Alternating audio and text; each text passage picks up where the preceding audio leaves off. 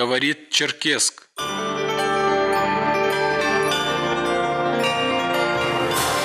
эфире Вести, радио Карачаево-Черкесия. Доброе утро, уважаемые радиослушатели. Сегодня вторник, 13 февраля. В студии с главными новостями республики Руфина Ковалева. Жители отдыхающих курортных поселков Донба и Архыз смогут проголосовать на временных избирательных участках. 20 миллионов рублей задолженности вернули своим сотрудникам работодатели Карачаева-Черкесии. Спортсмен Илья Шаповалов стал победителем всероссийских соревнований по легкой атлетике. Обо всем подробнее в сегодняшнем выпуске. Глава Карачаева-Черкесии Рашид Тимрезов провел совещание, главной темой которого стали итоги работы межведомственной рабочей группы по топливно-энергетическому комплексу республики за 2017 год.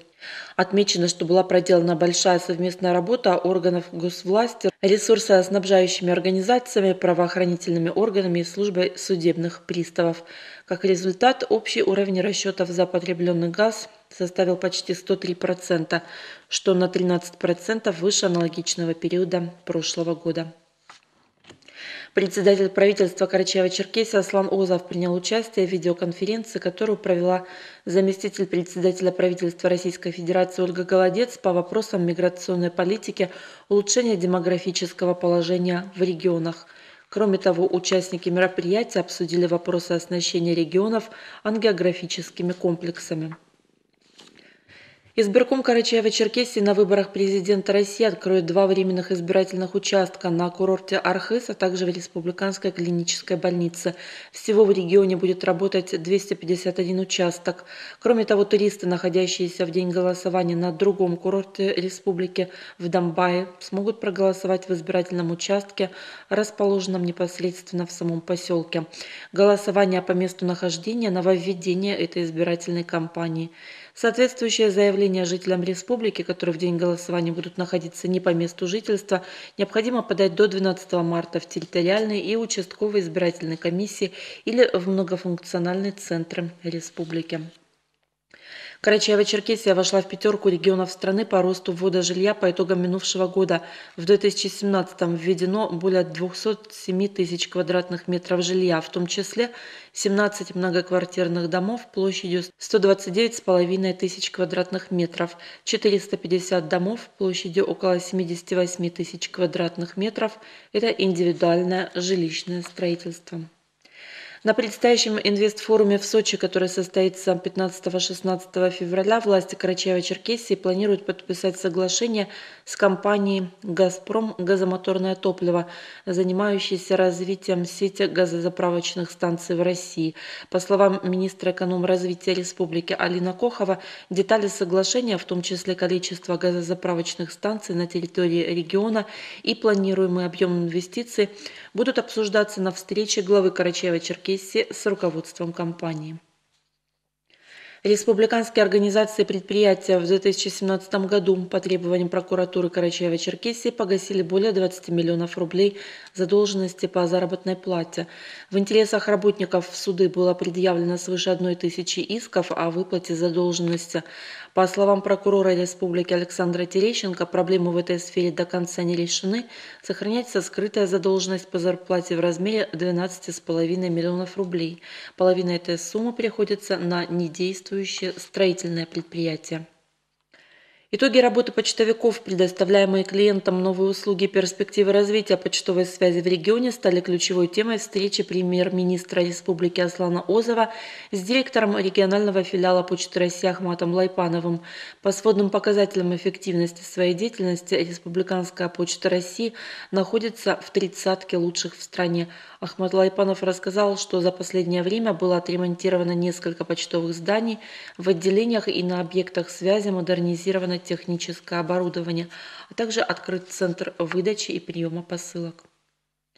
Северокавказский окружной военный суд признал виновными членов обезвреженной в 2016 году группировки Вилаят Карачаева-Черкесии в террористической деятельности. Все шестеро подсудимых приговорены к длительным срокам заключения – Главарь бандгруппы Александр Бенденко осужден на 17 лет колонии строгого режима, от 8,5 до 12 лет проведут за решеткой остальные пять террористов, в том числе Лилит Хазиева, 8 лет 6 месяцев в колонии общего режима. По версии следствия, в 2016 году Бенденко возглавил на территории республики вооруженное формирование Вилаят Карачаева-Черкесии. Террористы имели в распоряжении различные виды огнестрельного оружия, боеприпасов и взрывчатых веществ, планировали тяжкие и особо тяжкие преступления террористической направленности. Члены банды были задержаны в октябре 2016 года. Правоохранительными органами республики возбуждено уголовное дело по факту незаконной вырубки лесных насаждений в особо крупном размере. По данным прокуратуры Черкеска, на двух земельных участках площадью 1580 квадратных метров и около трех гектаров, соответственно, вырублены деревья породы ясень и дуб.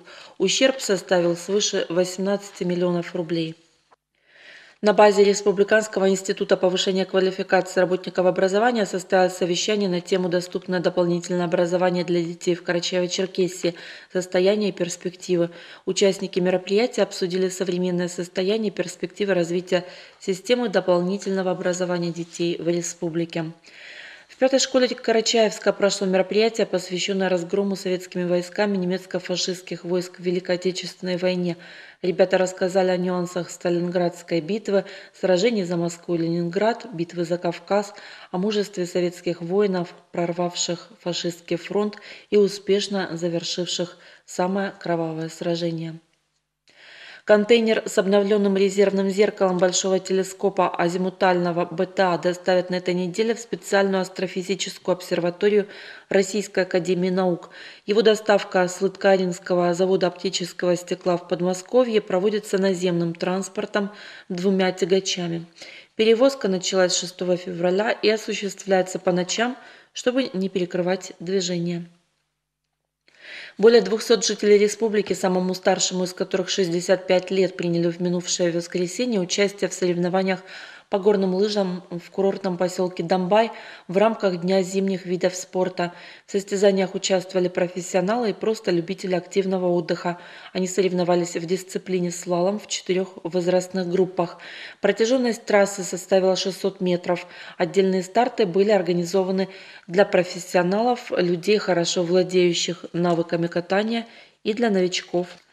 Спортсмен из Карачаева-Черкесии Илья Шаповалов завоевал серебряную медаль всероссийских соревнований по легкоатлетическим метаниям «Копье» памяти заслуженного работника физической культуры и спорта России Анатолия Лунева. Турнир проходил в Адлере. Радио России, Карачаево-Черкесия, погода.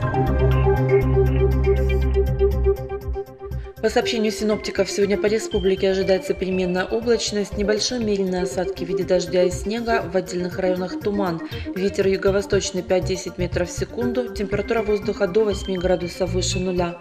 В горах плюс 1-4, выше 1000 метров, лавина опасна. На дорогах утром местами гололед. В Черкеске слабый дождь, ветер юго-восточный 5-10 метров в секунду, температура воздуха до 5 градусов выше нуля.